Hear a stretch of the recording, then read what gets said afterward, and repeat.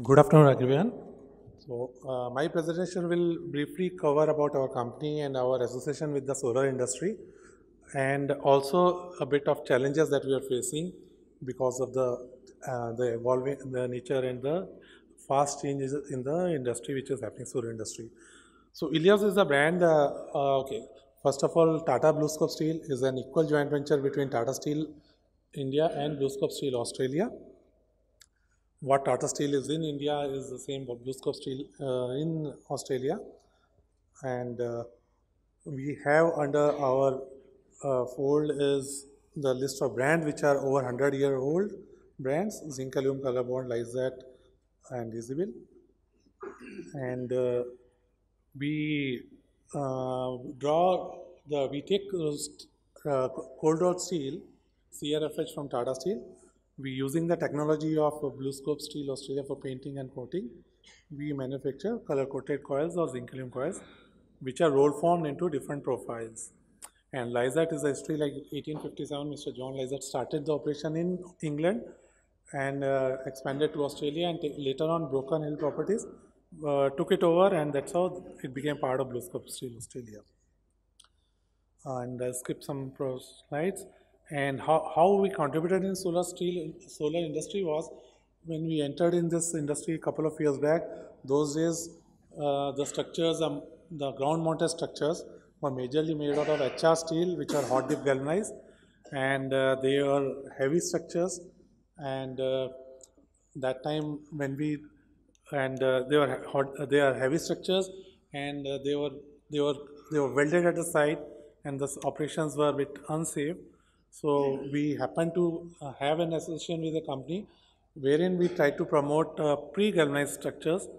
These are cold form sections which are much thinner in sections and also zinc aluminum uh, we have re uh, recently started that also which brought down the weight uh, drastically.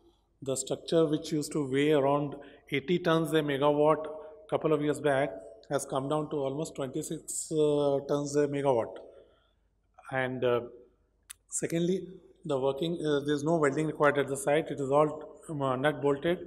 They come in the pre-punch hole from the factory. They are factory cut and fa very easy to assemble there. When we're talking about the uh, ground mounted structure. So the end, the end customer, what he gets is a cost optimization, weight optimization, ease in installation, and much safer operation at the site. And when if we talk about rooftop mounted structures, there are two kind of structures. One is the concrete roof or concrete roof again these are other kind of ground mounted structure. We need to have a structure for which you need to have PV cells. We can also have pitched roof. You can have pitched roof of maybe old sheds of asbestos sheets or color coated sheet itself, where we also have the expertise to dismantle and re-roof it again. And we all the profiles are compatible to have, or they are all uh, like we have developed special clamps which can take uh, PV cells over it, straight over it, so we have got different kind of profiles. These profiles are more popular profiles, trapezoidal profiles, which are screw-down profiles, and uh, these are the concealed. These are premium profiles, and uh, like this is a picture we have taken from Daimler Chennai, where we have used this premium profile, or which these PV cells were directly put uh, using the specially developed clamps. And uh, this is in detail. We have shown how it is fixed over the profile the clamps fit and uh, over this the PV cells come. And ground mounted structure or the rooftop structures also where the concrete roof is there. We normally use either cold form sections or zinc aluminum sections made out of zinc aluminum sheets and uh, they are either C or Z sections or the hat sections depending upon the kind of structures you have got. This is again a picture taken for ground mounted structures and uh, the way it is installed, you can see how easily the, the person is installing at the site. The construction is very fast, it's very safe.